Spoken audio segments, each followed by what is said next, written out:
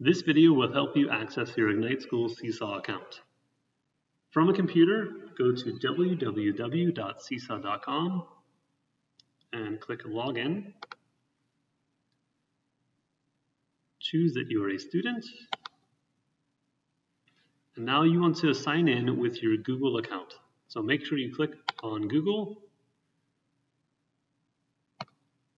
and then use the account that you have been given from your teacher. If you are using Seesaw from a tablet, download the Seesaw app and use the same login and password that you were given from your teacher. Once you are inside Seesaw, there are a couple of different things that you can do. The journal will allow you to see activities that you have already completed, as well as feedback from your teacher. To view new activities that have been assigned to you, choose Activities, and you will see a list of things your teacher would like you to do.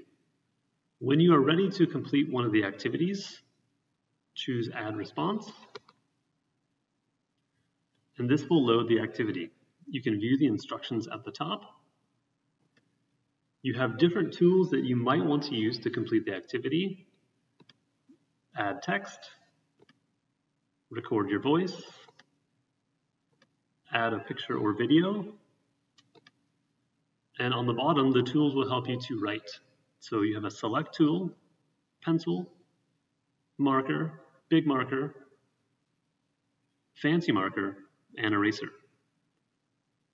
Choose the tool that you need to complete the activity, and you will write on it just like it is a piece of paper using the different tools.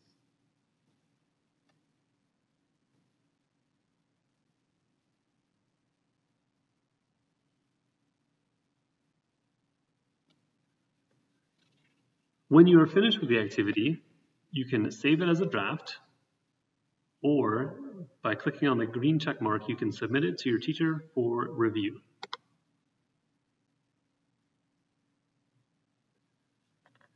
If you have any questions about using Seesaw, please contact your classroom teacher.